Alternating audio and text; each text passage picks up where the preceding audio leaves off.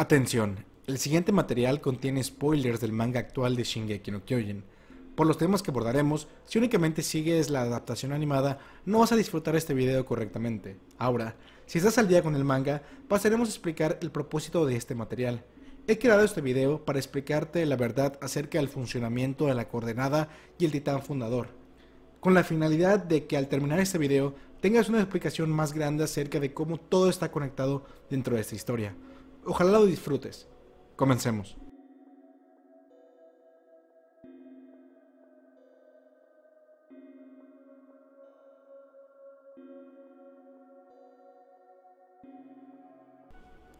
Iniciemos todo con una pregunta. ¿Cómo funciona realmente el pacto de renuncia a la batalla?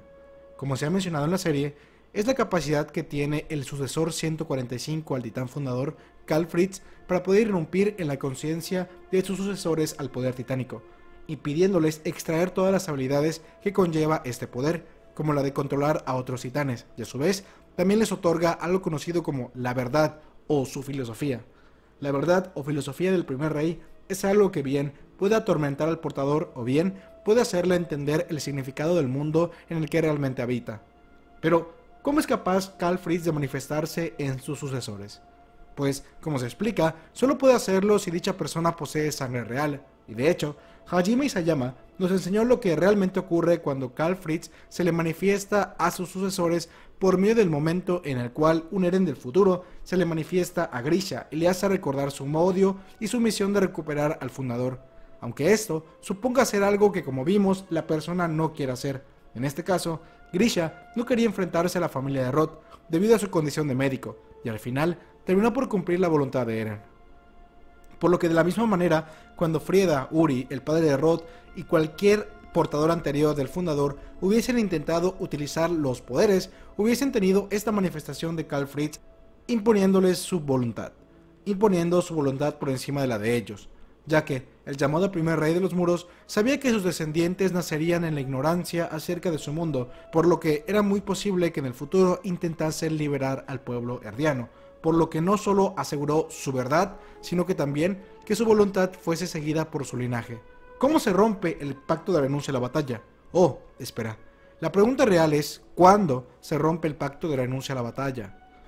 Ocurre en un instante, pero unido por varios momentos en simultáneo los caminos y la realidad donde transcurre todo en el pasado y en el presente. Veamos, después de que Sig recoge la cabeza de Eren, le dice algo sumamente importante. Le dice que pasaron varios años, o al menos él sintió el paso de varios años antes de la aparición de Eren en la dimensión de los caminos. De hecho, físicamente se le ve a Sig más viejo y descuidado con la barba. Lo que conecta todo es que con el tema de las cadenas, Sig dice que ha aprendido a romper el pacto de renuncia a la batalla de Cal Fritz, ya que usó ese tiempo extra para aprender cómo lograrlo. Lo que me parece curioso es que realmente el pacto de renuncia a la batalla ya estaba roto en el pasado, en el momento en el que Eren entra en contacto con el titán de Dana Fritz y logra usar por primera vez la coordenada, la cual hace sentido con que Zeke llegue esperando años a Eren. En concreto, le habría esperado cuatro años y Zeke hubiese aparecido cuatro años en el pasado en el tiempo de los caminos, coincidiendo en el momento en el que Eren conoce a Dana Fritz. Lo cual también une así con su madre al haber roto juntos el pacto de renuncia a la batalla. Lo que Zeke también rompe junto con el pacto de renuncia a la batalla es su propio sueño de la eutanasia de Eldia, ya que al intentar salvar a Eren del supuesto lavado de cerebro de Grisha, abre las memorias de su padre, pero solo termina llegando al punto en el que Eren reafirma su filosofía de terminar con todo y defender la isla, ya que llega a la conclusión de que tanto la eutanasia de Eldia y el pacto de renuncia a la batalla son parte incluso de la misma idea de dejarse destruir por el mundo exterior y entregarle su libertad a los demás en lugar de combatir las cosas. Si observamos con cuidado, antes de que aparezcan Sik y Eren en el pasado, Grisha está suplicándole a Frieda que use el fundador y vemos como ella se siente realmente mal, pero no es hasta que aparecen estos dos que el semblante de Frieda también cambia y aparece ante nosotros la conciencia real de Carl Fritz, la cual se manifiesta y explica cómo el pueblo eldiano debe aceptar su destino. Zeke no se inmuta, ya que su plan es prácticamente igual, simplemente esperar el final, de manera pacífica, por lo cual Zeke piensa casi igual que el rey, pero Eren, furioso, decide obligar a Grisha a cumplir con la misión y seguir adelante, por lo que no solo el pacto renuncia a la batalla es destruido, sino también el plan de la eutanasia de Eldia, por lo que a pesar de no ser el mismo plan en sí, la idea es la misma, entregarle la libertad al mundo y dejarse eliminar, y es algo que Eren no puede aceptar, de ahí el plan del retumbar de la Tierra. La coordenada. El poder del fundador, según lo que menciona Tom Shaver, tiene la capacidad de modificar corporalmente si así lo desea los sujetos de Ymir,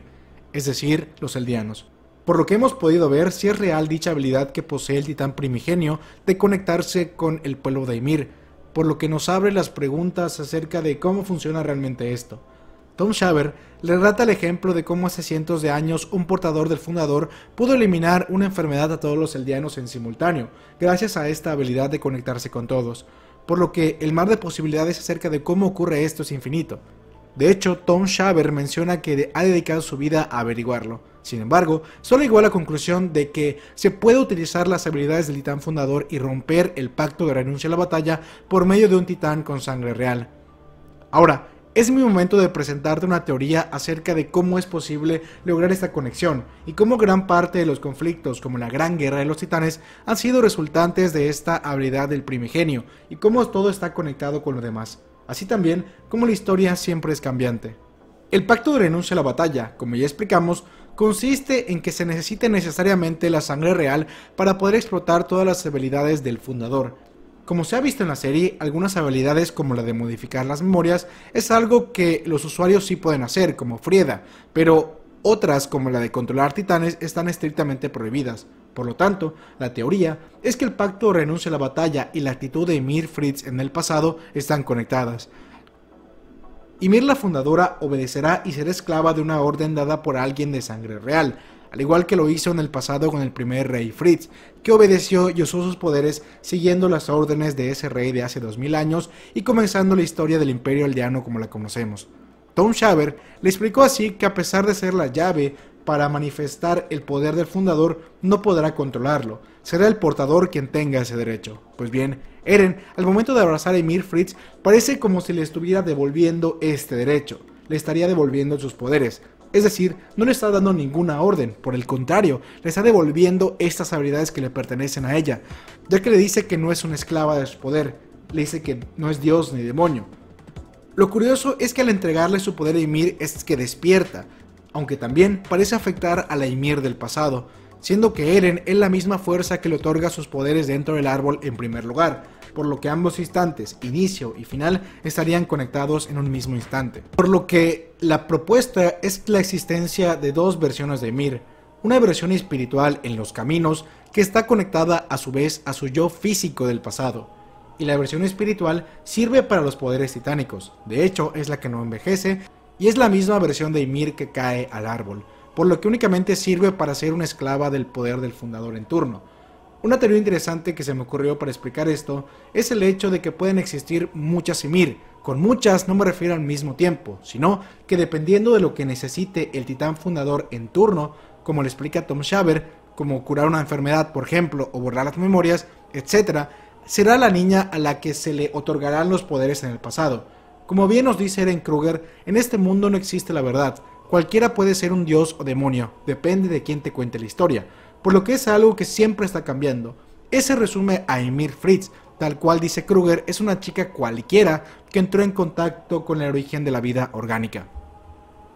Ymir Fritz es un mito que recae encima de una niña del pasado, no necesariamente la misma. De hecho, la serie ha manejado que existen diversas versiones del origen de los titanes, enseñando también diversas versiones tanto del demonio de la tierra como de la propia Ymir, una con cabello negro y otra con cabello rubio. De hecho, Frida Reis le comparte a Historia Reis la versión de una niña llamada Krista del libro, la cual era una chica buena que se sacrificó por los demás. Una manera en la que los eldianos pueden ser modificados todos al mismo tiempo es cambiando su origen en sí, y a su vez cambiando la niña que se le otorgarán los poderes en el pasado. Por ejemplo, mi idea es que Carl Fritz para crear el pacto de renuncia a la batalla le dio su poder a alguien de su misma sangre en el pasado, ya que esa condición de usar sus habilidades es que posea la misma sangre que él, y Mir Fritz entonces sería una hija o descendiente del propio Karl Fritz, ya que para poder dominar a sus descendientes tuvo que sacrificar a una de las suyas. reescribió la historia de los eldianos al enviarla al pasado y convertirla en la primer titán.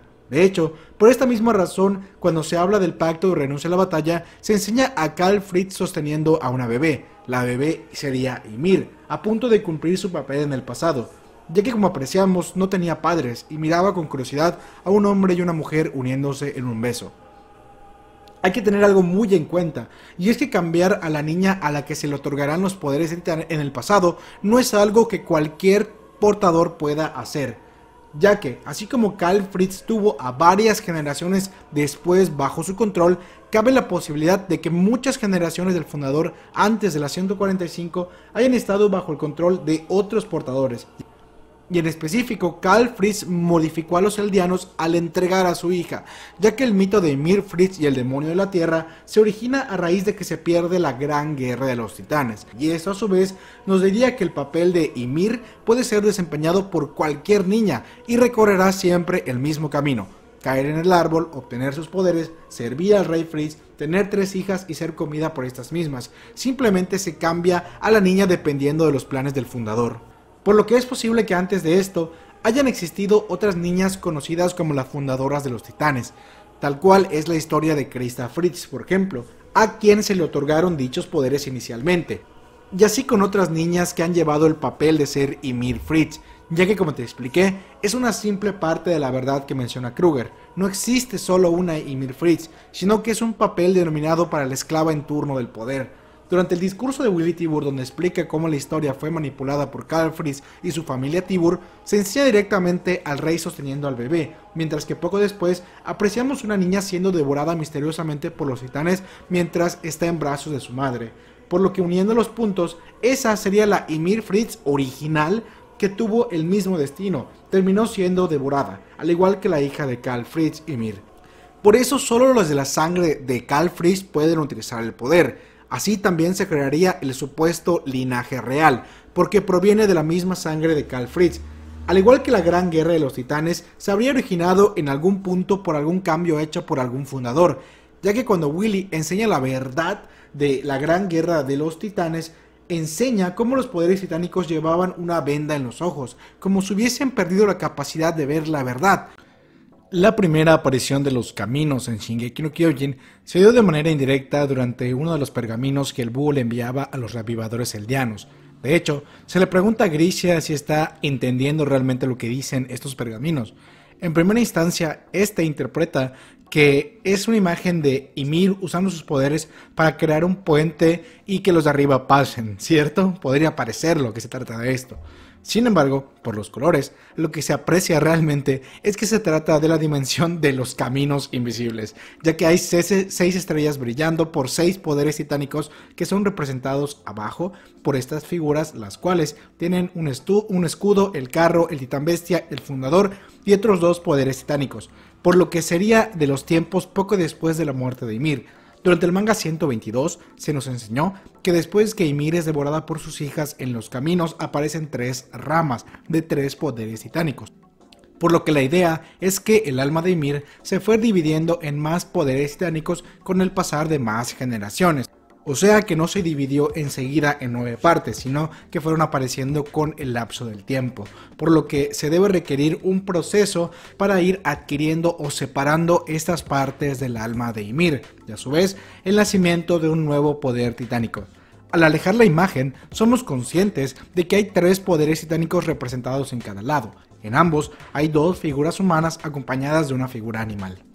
siendo que el verdadero significado de esta imagen es uno que ya se había explorado o mencionado por Hanji casi al inicio de la historia, donde dice, cuando estaba platicando con Eren acerca de sus experimentos, le dice que lo que vemos y lo que existe son dos cosas totalmente diferentes. La materia de la cual están creados los titanes sí es de otra dimensión, la dimensión de los caminos. Lo que me parece curioso es que en un primer vistazo podemos decir que los colosales, hay dos colosales abajo representados estén sosteniendo todo esto, aunque también yo creo que esto podría representar que dentro de los seis usuarios de esos poderes titánicos se encontraban contenidas las habilidades de los nueve, o al menos de ocho. De hecho, se menciona que en la Gran Guerra de los Titanes se vuelven a resaltar estas mismas seis figuras.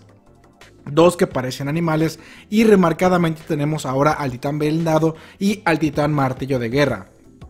Considero únicamente inteligentes a los titanes que tienen algo en la mano, ya que creo que Isayama resalta la inteligencia al darles estos útiles para que agarren.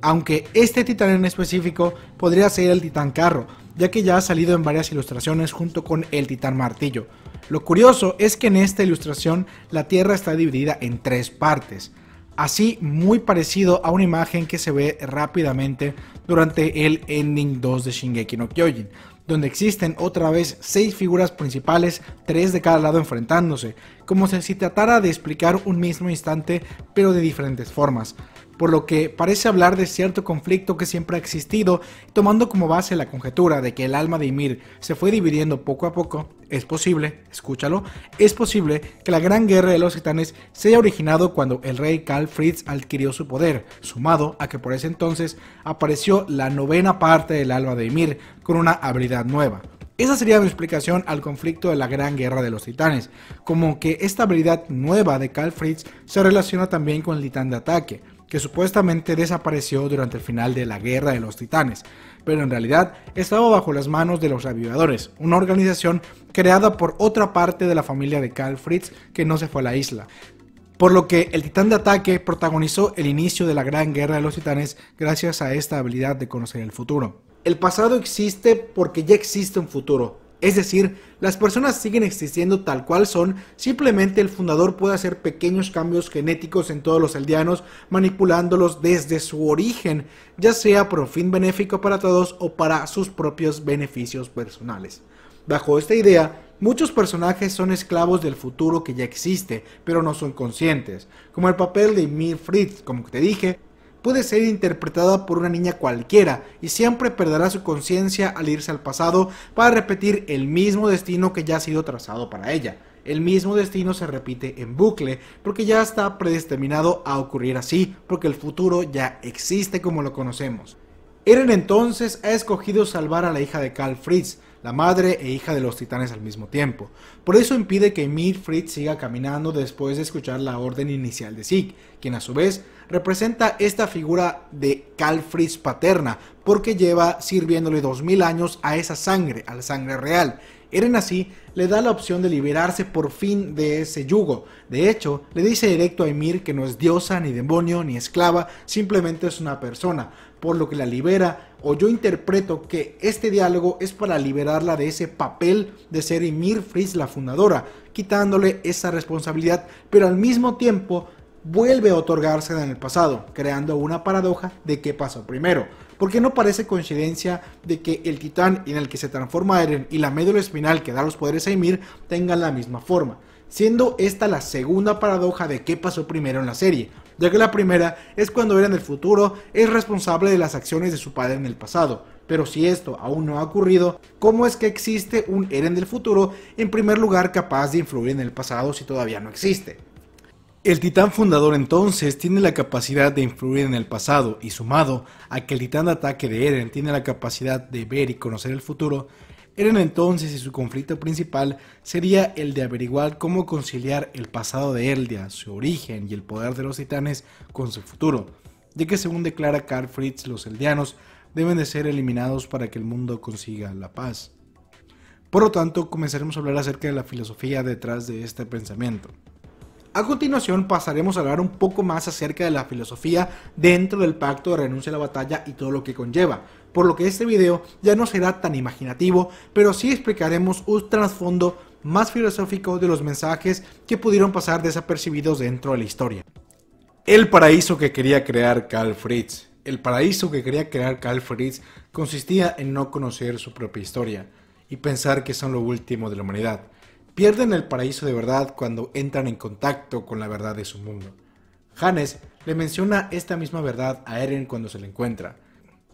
Las cosas están bien porque los soldados no tienen que trabajar, a diferencia de Kruger y Klaus, quienes aún seguían cumpliendo órdenes de guerra entre comillas con el imperio aldeano, investigando y transformando aldeanos. De hecho, Faye es asesinada por estas órdenes de guerra. La confesión de Klaus hacia Grisha explicando el por qué dio de comer a la pequeña Faye a los perros nos habla precisamente de lo retorcido que es el mundo de afuera, ante la existencia de una nación que pueda controlar a las demás. Es decir, no importa realmente el nombre que tenga el imperio que posea los poderes titánicos. Como bien remata Klaus, el deseo del mundo es exterminar esa fuerza capaz de hacer que uno se alce entre los demás. La sola existencia de la posibilidad de dominar a los demás y someterlos hace que el ser humano no pueda simplemente mirar hacia otro lado y obviar hacer esto. La gente quiere ver crueldad. La paz es algo bueno, pero el ser humano tarde o temprano necesitará algo que lo haga sentir vivo.